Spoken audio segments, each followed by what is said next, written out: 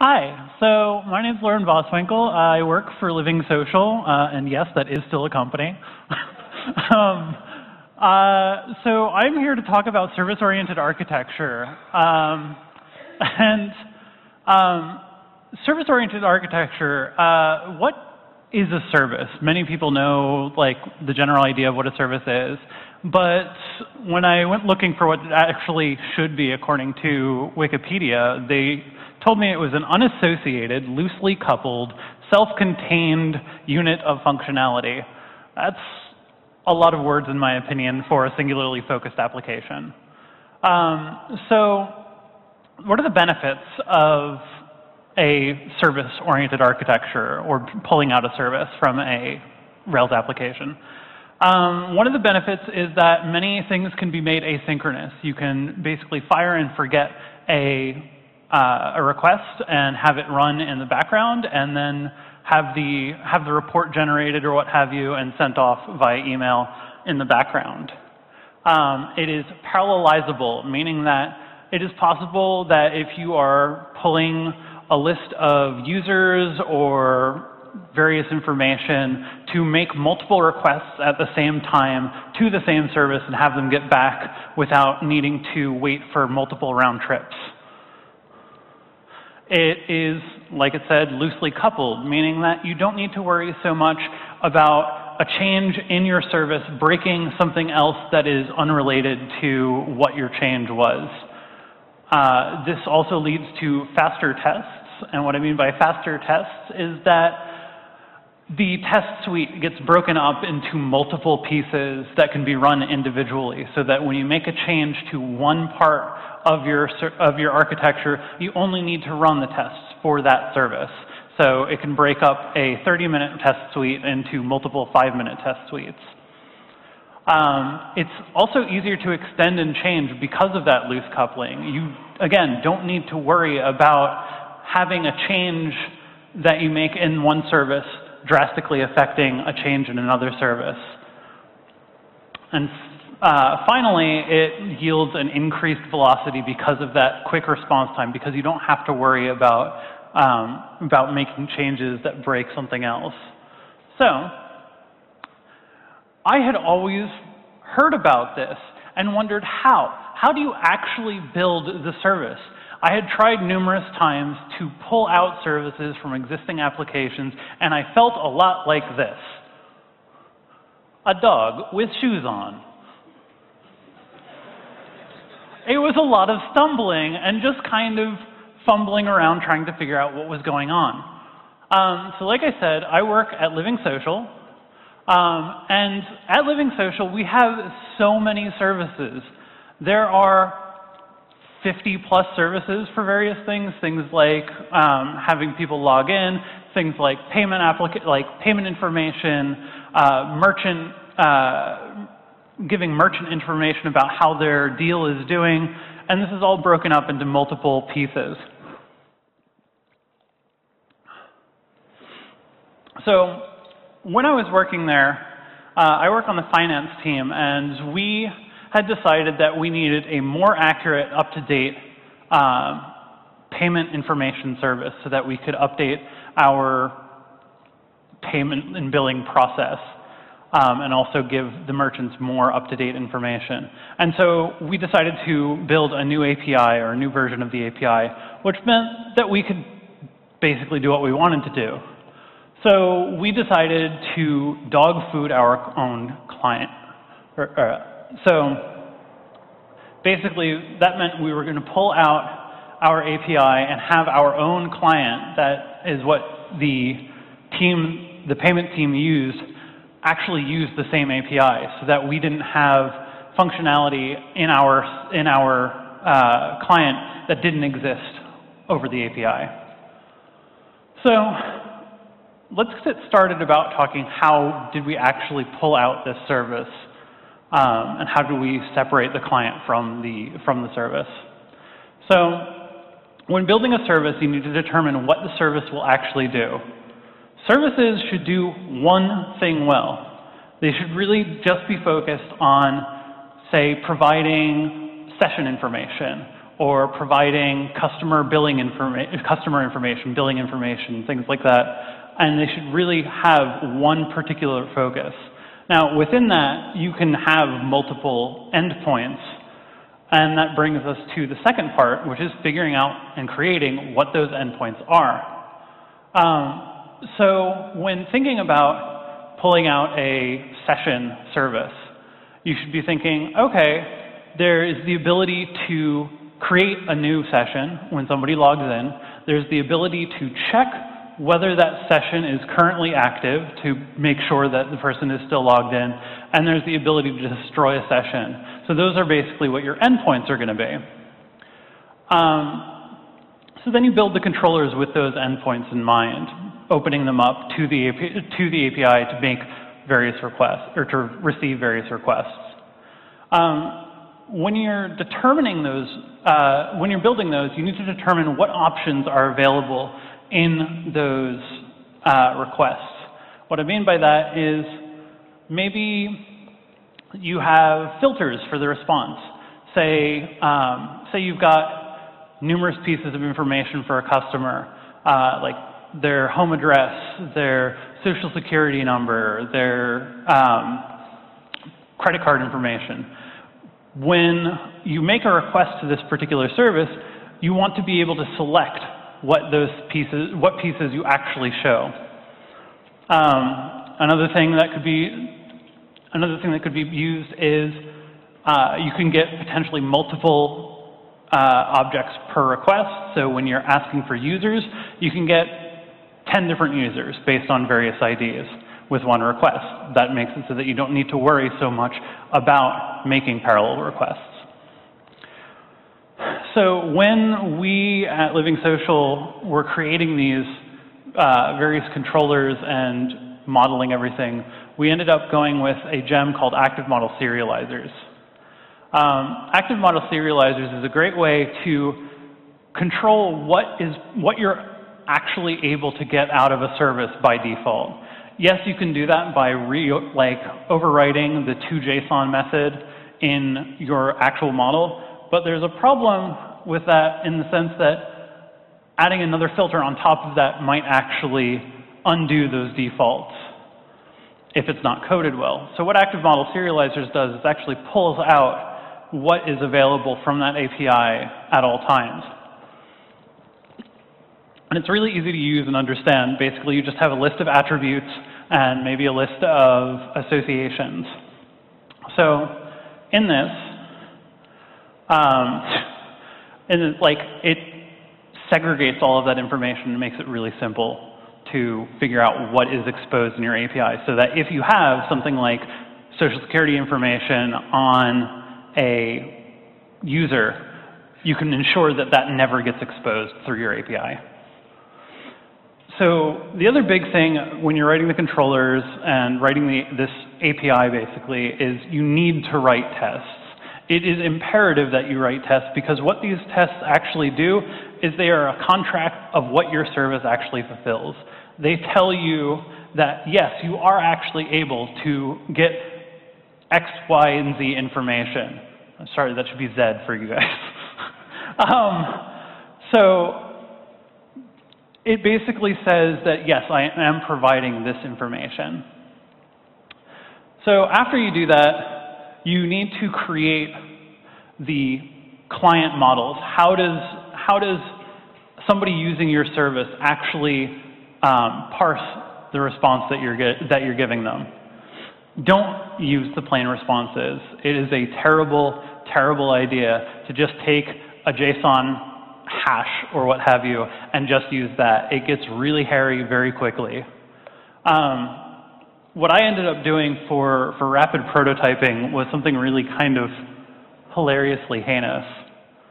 Um, this is a lot of metaprogramming that basically will take a JSON hash and then check to see, okay, is the, is the value of this key a hash?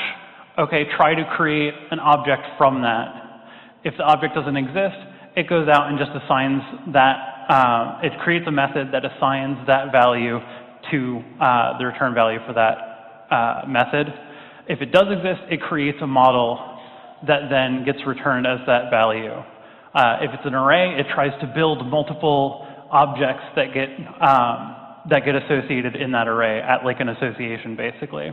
Um, and if it's anything else, it just gets added as a method that returns the, the plain value. So it actually led to a lot of basically empty classes that just defined that, yes, this is actually an object that we care about. Um, but then it also gave me the ability to define particular behaviors on the different methods. Like this one allowed me to specifically call out and make uh, payment, actual payment and expected payment uh, arrays Again, this is really, really great for rapid prototyping and allowed me to build and extend everything very, very quickly, but it is horrible, absolutely horrible for everything else. The main reason why it's really terrible is because there's no concreteness to it. And so uh, the next step is basically just write tests from the client side. What those tests on the client side is, is proof that your service hasn't changed, that it is still providing an expected response. So the next step is building a communication layer. How, do, how does your service talk to clients using it? Find a gem. There's a lot of gems out there. HTTParty, uh, Typhoeus, uh, Faraday, all sorts of different things wrap around the standard net HTTP library which is also perfectly fine to use if you want to feel like a hacker and make random janky code. Um, I suggest using Typhoeus. Uh, the reason why I suggest using Typhoeus is it has built-in support for concurrent requests. It uses libcurl to make requests via curl and then send those responses back through the gem. So basically, you can, out of the box, queue up 10 different requests and then have them all run at the same time so you don't have to worry about multiple round trips over the network. Wrap the gem when you're using it. Don't just use the gem like the gem straight up API. The reason why I really, really heavily suggest this is because a lot of people here probably experienced one particular gem's pain going from version 2.3 to 3.0. That would be active record. Um, when you just use a GEMS straight, like straight from the box, it usually has an API that remains pretty standard, but then when a new version comes out, it can drastically change. So when you're wrapping the gem and creating your own uh, set of calls to it, that provides one place in your code base that you actively need to change. So there's a bonus step that if you take the client models and the communication layer and you add them together, you get a gem. Was this, was this a thing in Australia? okay.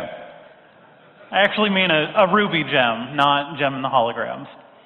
Um, so one of the, the next step after you create your gem to be kind to all of your client users um, is to sever dependencies. You're basically going to replace any direct database calls with a call to the service. You're going to be creating a gap between the application that currently exists and the server that it's going to be relying upon. This is pulling out a service from, a, from an existing application. So this is the step where you start creating that separation between, those, uh, between the two applications. It's really important to mind that gap. Um, you need to ensure that that gap is being created so that when you actually do the extraction, there's no pain involved. One of the biggest problems that I had when originally doing uh, this service extraction was I had spent multiple hours trying to figure out why all of my requests were timing out.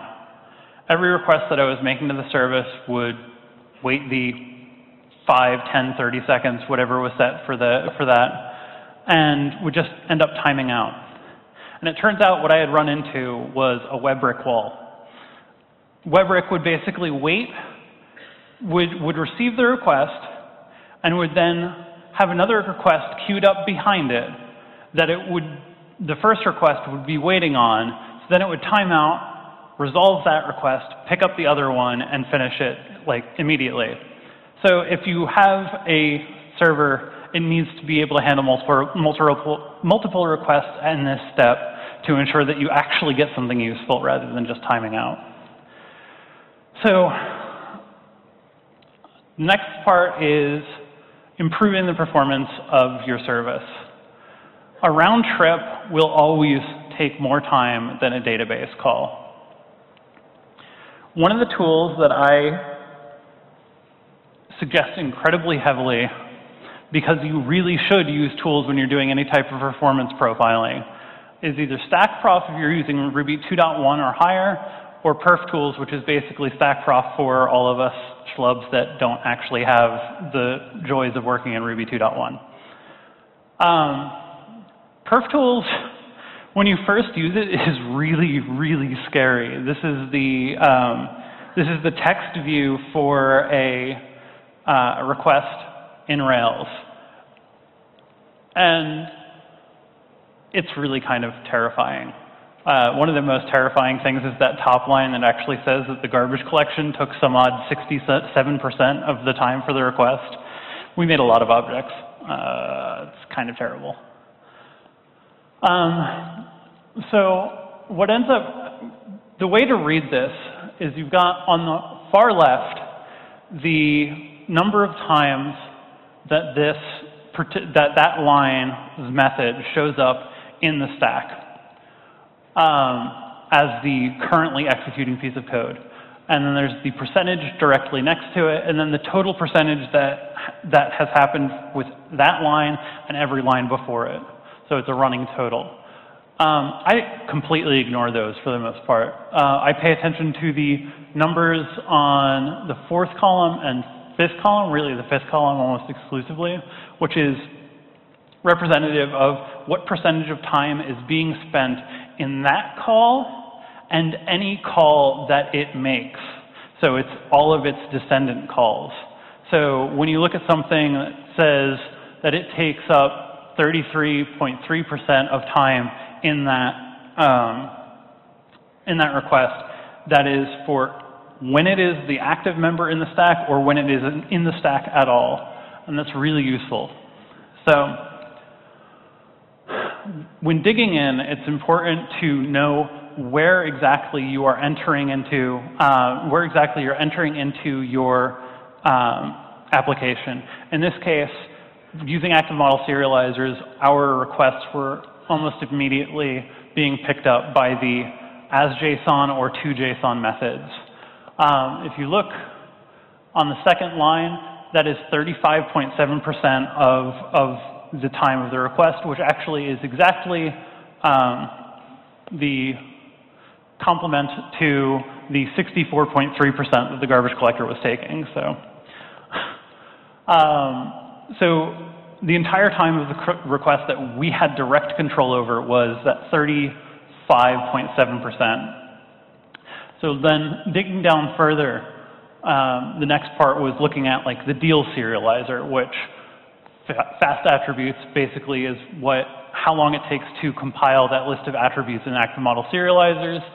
And then you go through and you look at it and says, oh, gross sales is 5.9% of that. So basically 8.0% um, is fast attributes as, as a whole, 5.9% is gross sales by itself, which means that roughly 2.1% is for everything else in fast attributes. So this kind of helps you zero in on things. So I then dug in, looked at gross sales, and eventually found coupon, our coupon calculator, which the coupons method took 21.5% of times. That's like 10% less than the total time that it took to run the request. So this is basically the method that I needed to focus all of my time on because that was taking two-thirds of the entire time to process everything. Turns out it was also a big part of creating all of those objects that then the garbage collector would take time as well.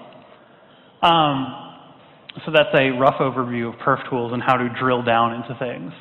Uh, the last thing that you need to do is to actually transfer the client or service and pull it out from the application that you were, that you were working with.